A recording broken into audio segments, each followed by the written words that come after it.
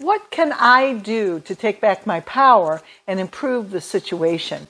What is the one thing, the one thing right here, right now, that would make the biggest difference and improve things for you?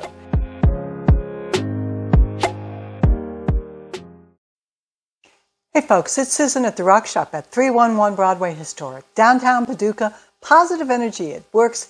Time for your angel message. So I'm using Doreen Virtue's Archangel Oracle cards. They have been cleared and shuffled. And let's see what the divine has for you this week. Okay. So I'm going to pick three cards, and I'm inclined to pick this one, this one, and ooh, there's some heat right there. This one. We're going to go with this one first. Remember who you are. Oh, good. All right. Archangel Michael. You are a powerful, loving, and creating child of God. You are very loved. So here we have Archangel Michael reminding us that, yes, we're walking around in our physical human bodies, and we have to to be a part of this experiment here on planet Earth, right? But don't forget who you really are. And who is that, you might say? Well, I'm an architect, or I'm a carpenter, or I'm a hairstylist, or whatever it is that you do in life is not who you are in life. Who you are is a very powerful being. You are a spiritual being having a physical experience, not a physical being having a spiritual experience. I've said this many times. Very different. When you really get that you are your soul, you are your higher self, residing in this physical body, experiencing life, then you start to remember who you really are. You are a powerful being. You are a loving, creating, creative child of God. And you are very loved. So you might be going through a time in your physical life where you're, you know, you're struggling uh, things aren't going the way that you would like them to go. Maybe, uh, maybe you're experiencing some financial hardships, or maybe you're having some heartbreak from a loss, a loss of a, a family, a friend, uh, a job, uh, your health. It could be any number of things. But when you remember that you are a spiritual being, all of this is just the physical stuff that's going on, and it is very real. Don't get me wrong, it is very real, it's very important but it helps you stay balanced and weather those physical challenges that come your way because they will. This is Earth, and um, life is life. life will find a way. So remember who you are. This is Archangel Michael this week. All right. Card number two. I love it. Take back your power. Archangel Raziel your God given power and intention to manifest blessings in your life. Okay, well, gotta say these two seem pretty related. So remember who you are. This is just stuff that's happening. Take back your power. Your power comes from remembering that you are a spiritual being, a child of God. You are powerful. If you're not liking what's going on in your physical world right now, then change it. Okay?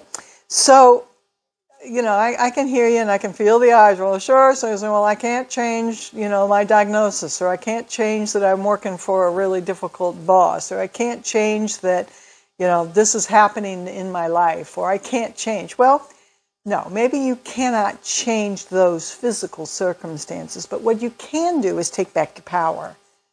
And your power is how you respond to those circumstances. Not, even, not always easy. I'm not saying that it is. To remember your intention and you're manifesting those blessings in your life, even when things seem like they're not for your best and highest good, remember your soul came to earth to live to learn lessons. And so, how do you know that it wasn't supposed to learn the lessons of patience or of humility or even of poverty? Okay?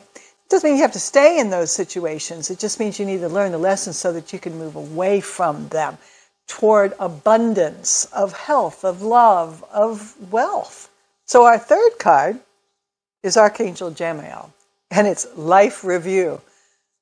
Folks, you saw me pick the cards. Okay. Take inventory of your life and resolve to change or heal anything that is unbalanced. okay, remember who you are. You do have control over how you respond to everything that goes on in your physical world. Take back your power. Not liking what's going on, manifest something different through how you think about things, how you speak about things, how you feel about things, and what you take action on. Life review. All right, let's say things aren't going the best right now. Sit down, take a few minutes, do some journaling, do some praying, do some meditating, whatever works for you, and write down like an inventory of your life. What has been working? What hasn't been working? When did it change? What can I do to take back my power and improve the situation? What is the one thing, the one thing right here, right now, that would make the biggest difference and improve things for you? Write that down. And then, whatever that one thing is, figure out a strategy to see if you cannot bring it into your life to manifest it. Okay? Folks, I hope that that helps. Um, sounds like this message is for someone who's someone's who may be stuck and having some challenges right now. Just remember who you are. Take back your power. And sometimes that means you just got to go back over your life and just review what's not working. If it's not working, change it. I do hope that that message resonates with you this week. This is Susan at the Rock Shop, and boy, we sure appreciate those thumbs up. Subscribe to the channel. And then, you know, well, that really helps us grow. And how about some comments? What's going on in your world this week? But above all, folks, have a very blessed week. Namaste.